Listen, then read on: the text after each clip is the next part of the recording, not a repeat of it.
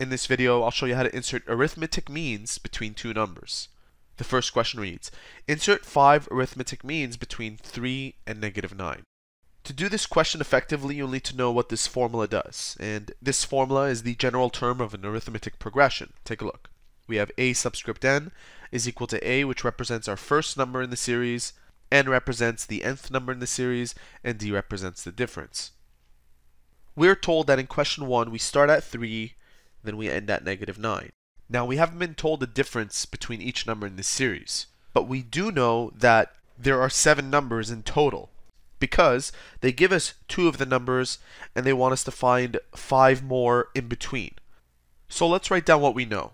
We know that a, the first term in the series is 3, and that there are 7 numbers in total. So n is equal to 7. And because there are 7 numbers in total, this being the first and this being the last, this is the seventh term. So a subscript 7 is negative 9. What we can do is substitute these values into here. Let's go ahead and do that. a subscript n will be replaced with negative 9. a will be replaced with 3 plus 7 minus 1 times d.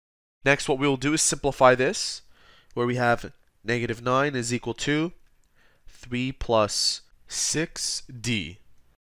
I'm going to solve for d, bringing this 3 over.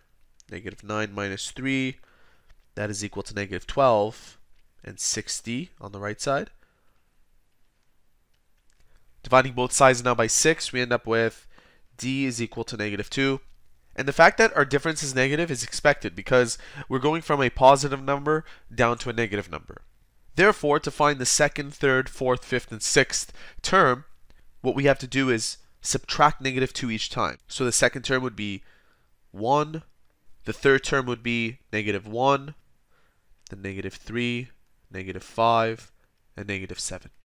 These five numbers represent the answer. Let's move on to question 2. They want us to insert four arithmetic means between negative 6 and negative 9. Negative 6, negative 9. Four arithmetic means means that we have six numbers in this series. This being the first, this being the sixth. We'll do the exact same mathematics as before. Our first number is negative 6. n will be 6. And a at 6 is equal to negative 9. Substituting these values into the formula that we had, shown here, we have negative 9 is equal to negative 6 plus 6 minus 1, and d is what we're looking for.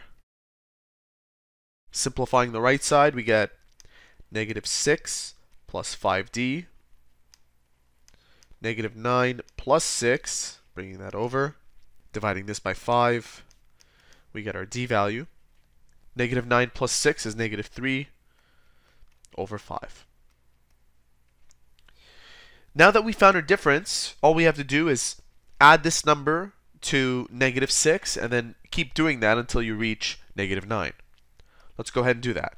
Negative 6 plus negative 3 over 5 gives us negative 33 decimal 5. So the second number will be negative 33 over 5.